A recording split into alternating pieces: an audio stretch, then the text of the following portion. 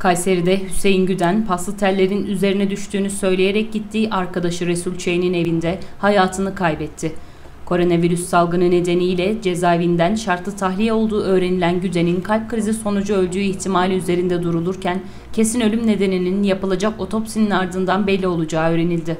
Olay saat 9 sıralarında Koca Sinan ilçesi Alsancak mahallesi Özden sokaktaki müstakil evde meydana geldi.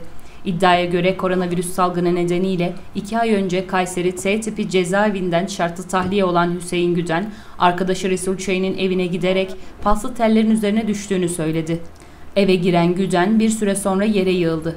Resul Çay'ın ihbarı üzerine olay yerine gelen ekipler Hüseyin Güden'in hayatını kaybettiğini belirledi. Kalp krizi sonucu öldüğü ihtimali üzerinde durulan Güden'in kesin ölüm nedeni yapılacak otopsinin ardından belli olacak.